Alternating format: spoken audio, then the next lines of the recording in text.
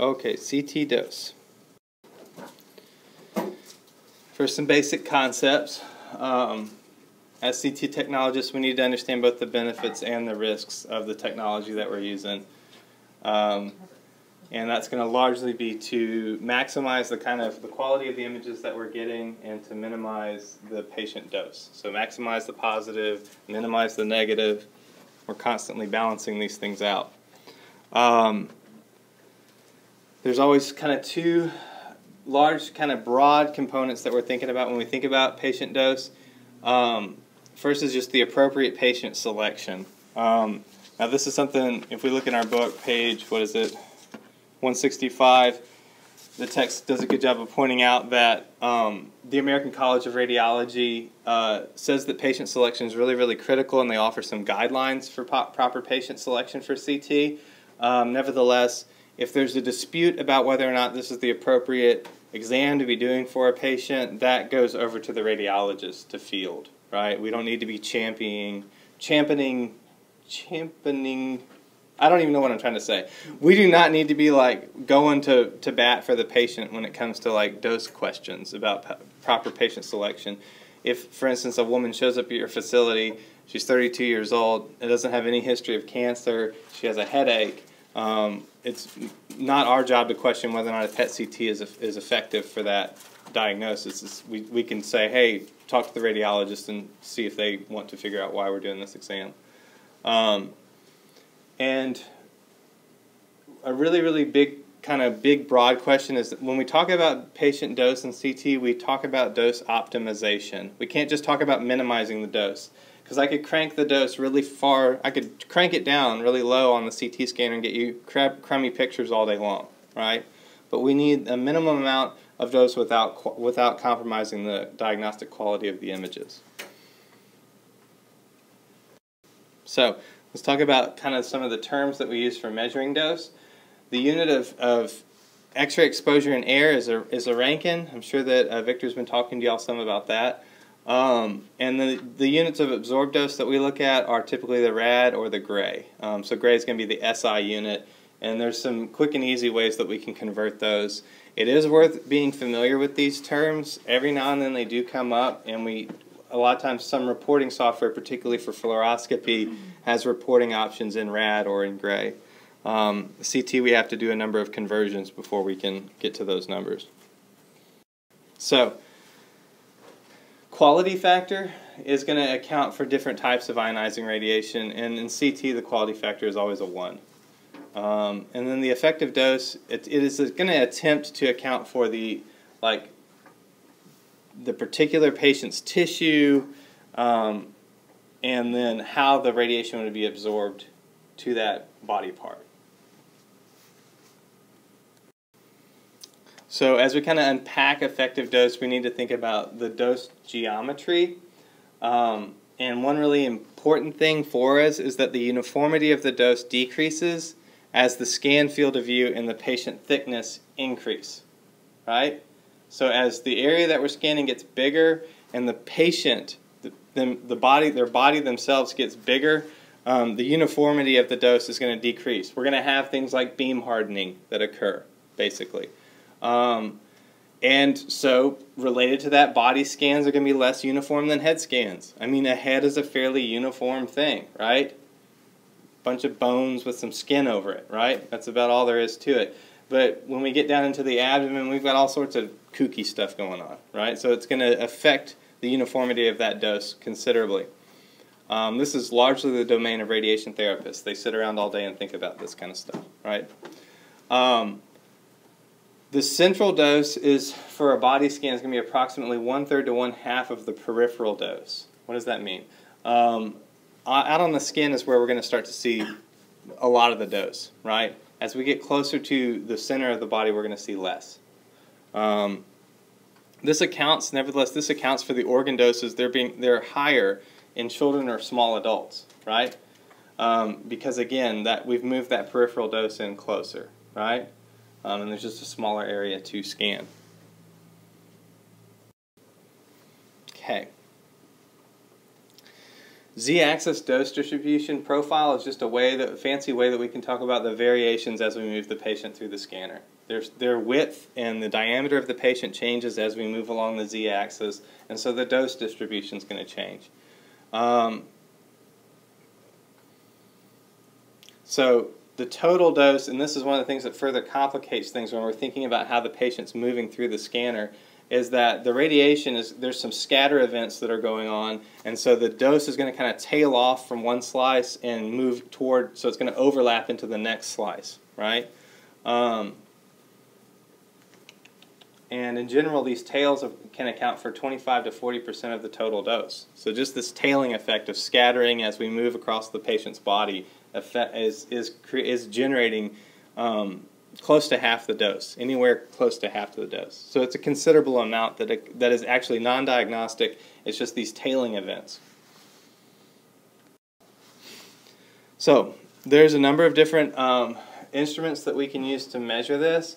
Um, a multiple scan average dose is typically the, in the domain of the medical physicist. This is something that they're going to scan using a water phantom and an ion chamber, and they're, they're using it to uh, make sure that when the scanner generates a scan uh, in the phantom, that more or less the same dose is occurring at depth over and over and over again, right? And they don't want to see any variance in that.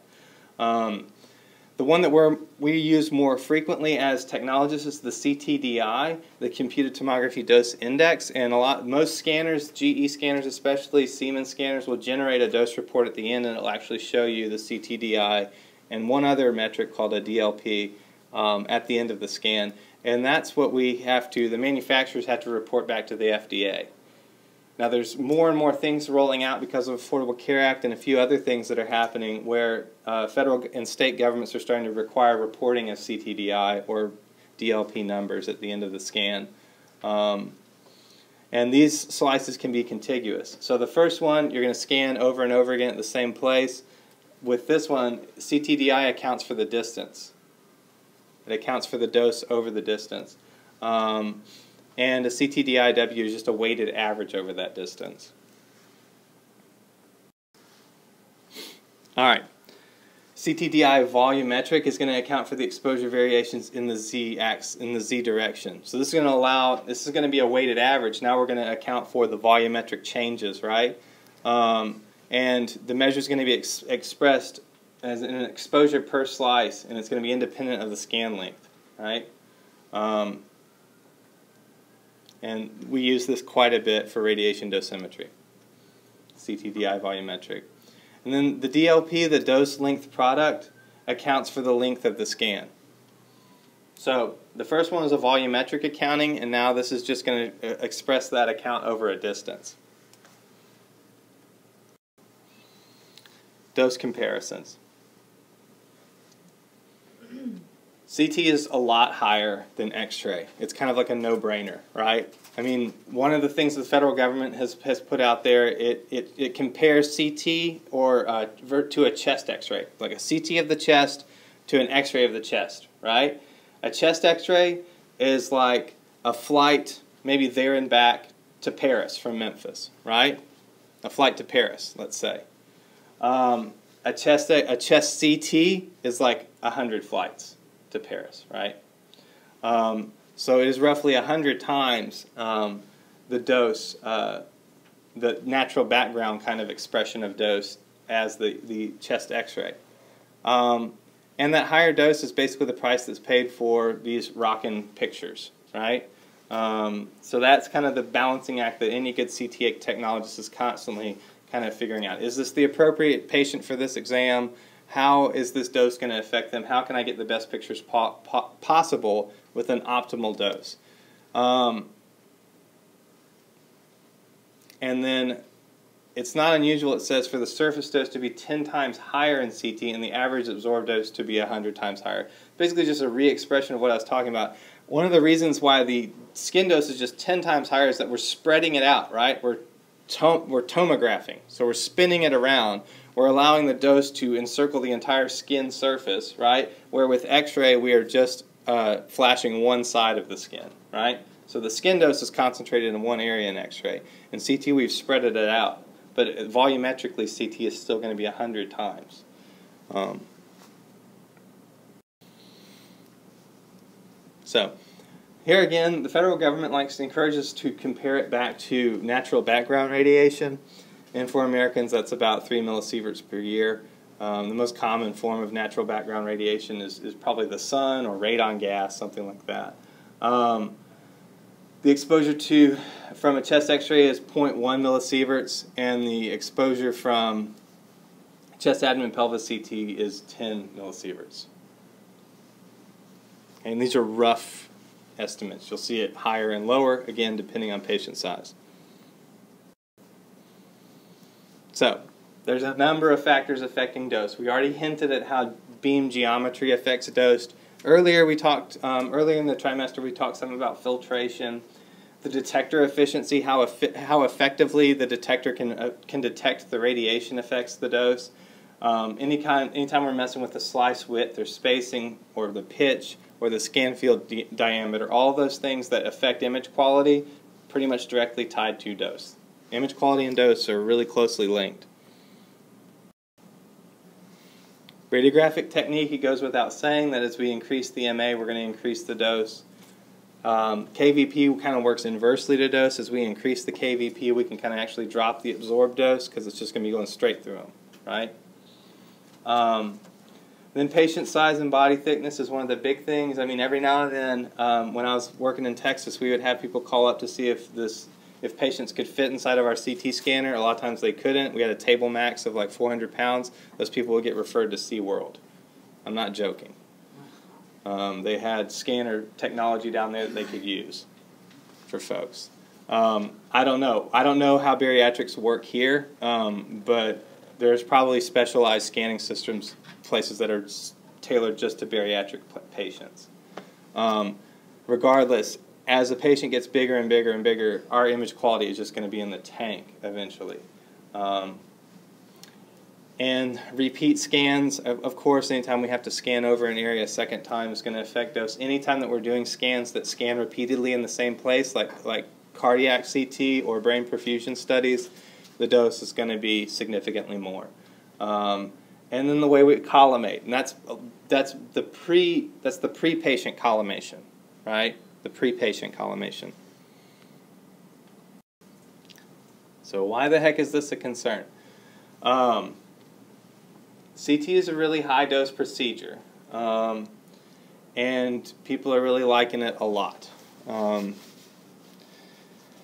and one of the difficulties with it is, um, is point three. There's a need for education in this stuff. Not just for y'all, but for physicians that are ordering these procedures, for nurse practitioners who are ordering it, for the patients, for the general public, for government officials who are making decisions about this stuff. Um, a really interesting thing happened after the U.S. used nuclear weapons in World War II. The public response to the use of, of nuclear weapons was this is so clearly out of our control. I mean, this is so such a powerful thing that we'll let the government handle it. And we'll just pretend it didn't happen, right? We'll pretend that didn't happen, the government handles it. So in science fiction movies, you saw things like Godzilla and these crazy kind of mythical creatures like the man who's 50, 50 feet tall, because everyone knows radiation just makes you really tall and mean, right? Um, those were kind of popular responses to CT, uh, to radiation dose, right? And we're, we're continuing those that kind of popular mythology. Like I've been to, for instance, Oak Ridge, Tennessee. There's nothing there. That we've not in any way memorialized the production of, of weapons grade, uh, um, of weapons enriched nuclear materials, right? I've been to the place where the Enola Gay flew from, like the plane that dropped the bomb on Nagasaki and Hiroshima. The building has fallen apart. I have a, I have a shingle off the roof of the hangar and we're not going to do anything to memorialize that. We're going to let it fall into the dustbin of history, right? Because people don't want to think about it. So there's a need, need, need for education, right? I can't stress it much enough. If y'all are going to be working in PET CT, there's a need to educate your patients, the ordering physicians, your coworkers even. Um, y'all have probably seen it at the clinical site, maybe some inappropriate uses of dose. I don't know. Um, but there's also a need for appropriate kinds of research in this. There's a really scarcity of research. Like we're still comparing things back, dose effects back to Hiroshima and Nagasaki or Chernobyl. Like, why don't we have patient data? We've been doing x rays. I'll get off my soapbox in a second, but we've been doing x rays for over 100 years. Why do we have no patient data to pull from?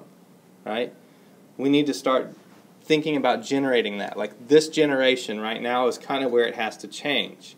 Because big data is, is in the house, and we now have the means and the tools to record this kind of stuff in a way that's meaningful so that future generations can actually know this is what it does. Because um, we're still shooting in the dark. Nevertheless, um, inappropriate scanning param parameters have been found in some facilities. That goes without saying. We've probably all heard about Cedars-Sinai and the mess that came out of that. There's been stuff in upstate New York. A lot of the stuff that hits the newspaper is when these inappropriate or unsafe scanning parameters are being used, right? That's what sells newspapers. Any extra imaging is really, really common. There's ways that we can drop the dose just by not doing certain series. Like if there's everything's that we're doing that the facility just says, hey, that's the way we've always been doing it, question it, question it, question it. I think that's really the hallmark of a good CT tech is someone who questions everything. You know what I mean? If it's walking through my door into my scan room, I want to know why the heck are we doing it, and um, and how quickly I can get it done, so I can go back to playing Minesweep or whatever. Um, so, and then of course, going with the education problem, there's a lack of awareness. The stuff is invisible, tasteless, you can't feel it. Um, I could have a CT scanner in this room scanning all day long, we would never know it, right? Other than maybe the noise. Um, so it that's that is in a concern in a, in a nutshell why there's this concern. So one of the things that we have to combat consistently is a perception of risk. Um, and anytime we're talking to patient member, uh, family members, or uh, coworkers, we need to uh, provide an, an, appropriate perspective on the dose and radiation exposure. Um, again, recognize the public may have a different, totally different perception of the risk. One of the most common jokes people say to me as a CT tech is, "So now I'm going to glow in the dark." right? No, you're not. And that's not even funny. It was a stupid joke five years ago. It's a stupid joke now. Um, what's going to happen is you're, you're probably going to have decreased sperm, you know, production, and you may lose some hair, right? And you may generate cancer.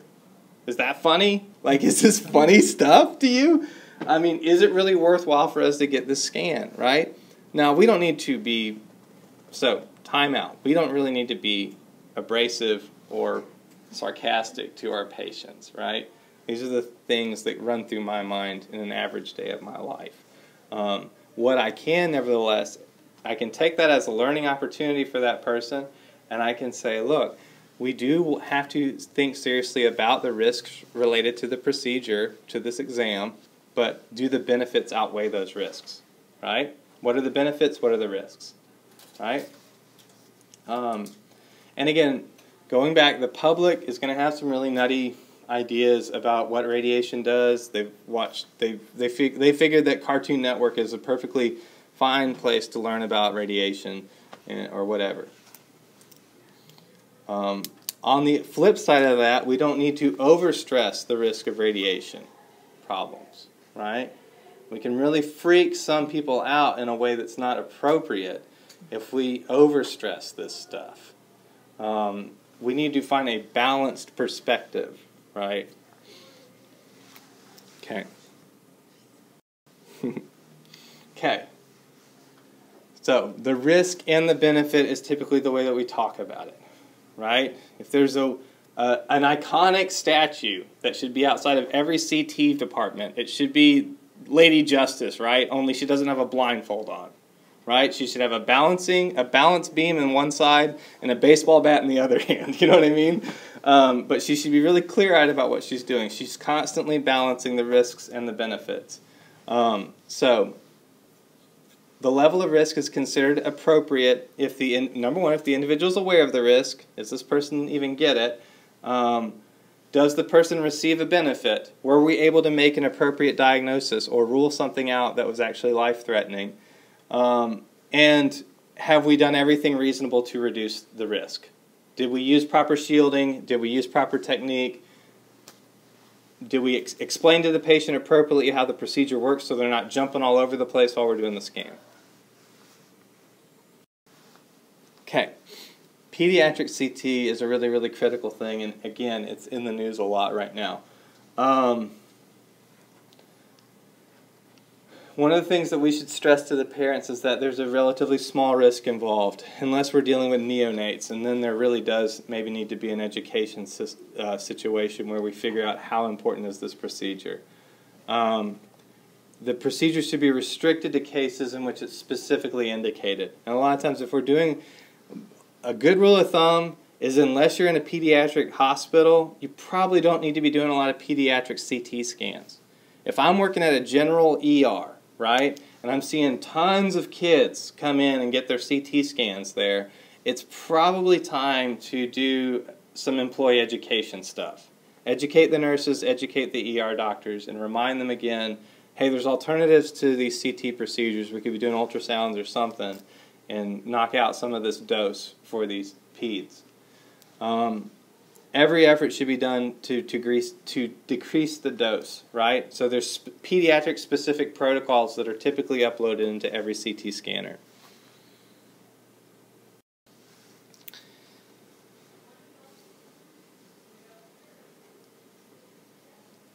So, the difficulty with pediatric CT is that we're seeing more of it.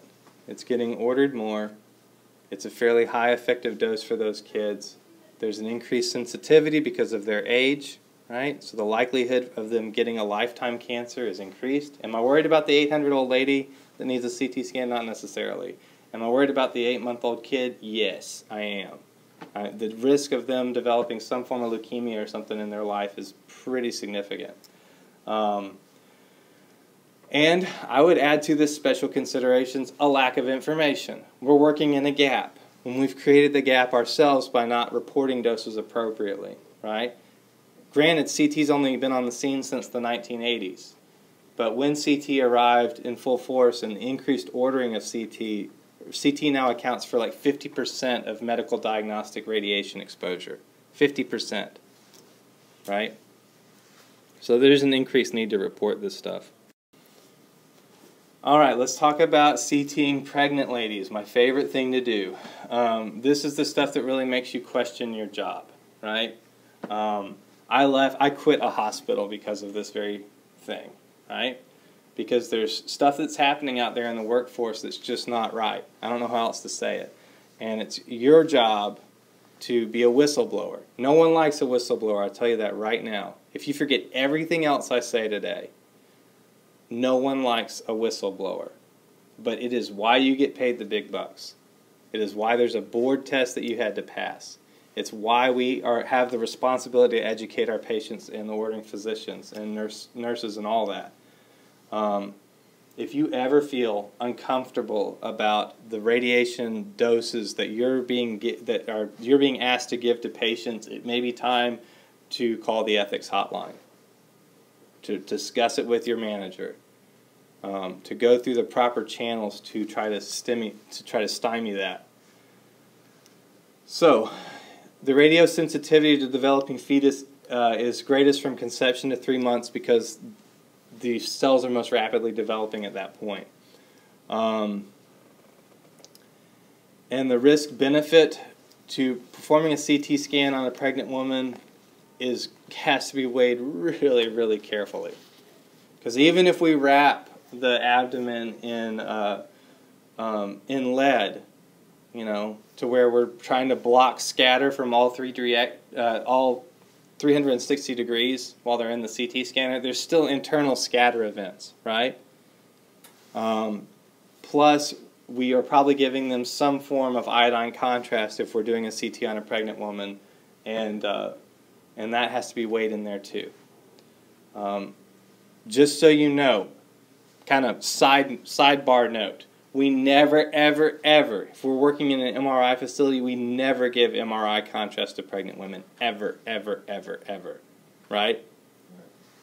Um, CT, there has been an increased amount of CT for pregnant women. And the, the main thing that it is for is for pulmonary embolism right? PE chest studies. So you better, if you're working in these departments, you really have to darn well know how to do a CTA of the chest um, and to do it right. They're very stressful. They're very stressful exams. So here's some strategies for reducing or optimizing the dose. We can use auto MA or adjust the MA to the appropriate patient size. Um, uh, again, when, when available, use the automatic tube current modulation. In GE, it's called auto, auto MA.